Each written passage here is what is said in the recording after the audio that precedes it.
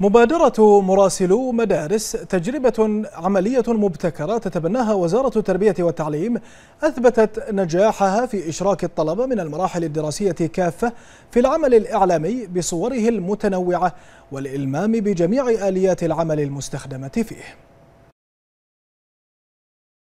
150 طالبا وطالبة من مختلف المراحل الدراسية التحقوا بأعمال ورشة تدريبية جديدة تندرج تحت مظلة مبادرة مراسلو مدارس التابعة لوزارة التربية والتعليم والتي انضمت مؤخرا للخطة الوطنية لتعزيز الانتماء الوطني وترسيخ قيم المواطنة بحريننا لتستكمل ما بدأته من خطوات واثقة نحو النجاح.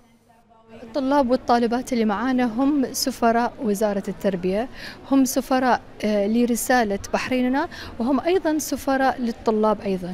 فمن خلال التواصل آه، من خلال تعريفهم بفكرة الخطة الوطنية من خلال تعريفهم بالأهداف الخطة الوطنية ومقومات الخطة الوطنية وفكرة آه، تعزيز الانتماء الوطني وترسيخ قيم المواطنة إذا استطعنا أن نصل إلى هذه المجموعة الصغيرة واللي هم السفراء الإعلاميين أكيد نستطيع أن نصل إلى الشريحة الأكبر من طلاب وطالبات وزارة التربية. مراسلو مدارس. مبادرة وطنية هادفة أطلقتها وزارة التربية والتعليم اشتملت على باقة من البرامج التدريبية المختصة الرامية إلى انخراط طلبة المدارس في المملكة بالمجال الإعلامي الواسع. نشنت مبادرة مراسل المدارس من قبل سمو الشيخ محمد بن مبارك آل خليفة نائب رئيس مجلس الوزراء رئيس المجلس الأعلى لتطوير التعليم والتدريب. 2013 تلقى هذه المبادرة دعم كبير من قبل سعادة الدكتور ماجد بن علي النعيمي وزير التربية والتعليم والمتابعة للطلبة من خلال آه، المشاركة في فعاليات البحرين أولا وفعاليات صرح الميثاق. مما يساهم في خلق جيل إعلامي يمثل مملكة البحرين في المجال الإعلامي داخل البحرين وخارجها. طبعا هذه المبادرة عندنا إحنا موجودة في وزارة التربية والتعليم وهذه المبادرة ولله الحمد فريدة من نوعها في المنطقة. الهدف منها خلق جيل إعلامي واعي في جميع المدارس يسلط الضوء على آه، إنجازاتهم التعليمية في المدارس وإن شاء الله في المستقبل يسلطون الضوء على إنجازات الوطن ويمثلون البحرين في المحافل الدولية وخلق جيل إعلامي يكون رافد لوزارة الإعلام والرافد للبحرين في العمل الإعلامي.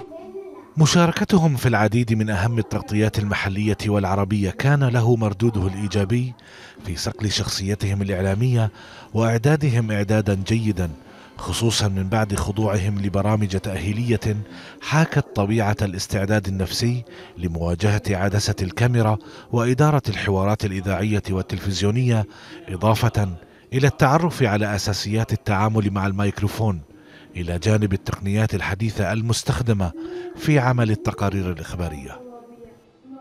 بالبداية أشكر وزارة التربية والتعليم عطوني الفرصة كوني أصير عضوة في مديرة مراسل ومدارس ومن المرحلة الابتدائية للمرحلة الثانوية وأنا سنة خريجة وإن شاء الله في الجامعة بكمل الإعلام وأصير مثلك إعلامية ويفتخرون فيني البحرين.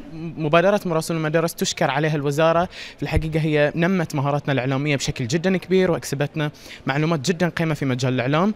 مما ساهم في أنها طلعتنا للمهرجانات الوطنية اللي تنظمها الوزارة. وأنا في الفترة الأخيرة كنت عارف لمهرجان البحرين أولا وهذا كله بفضل مشاركتي في هذه المبادرة القيمة اللي ساهمت في صقل مواهبنا الإعلامية؟ آه، قدمت لنا وزارة التربية والتعليم الورش والدورات اللي ساعدتنا عشان نكون إحنا اليوم إعلاميين آه، ونقدم مقابلات وتغطيات أنا أول سنة أشارك آه، حبيت أشارك لسببين أول شيء لسبب مدرستني اختارتني ثاني شيء علشان أطلع قدراتي اللي عندي من خلال هاي البرنامج لأن أنا مشاركة في اللجنة الإعلامية فحبة لأن هاي البرنامج أحس إنه راح يطور مهاراتي. هذا ما معنا اليوم معكم الطالب حمد سعود ومن فريق مدار آه، من فريق مراسلون المدارس ونشكركم لحسن الاستماع مبادرة وطنية تستهدف عمق الطاقات الإعلامية الماكثة في نفوس الطلبة لإخراجها إلى واقع الوجود.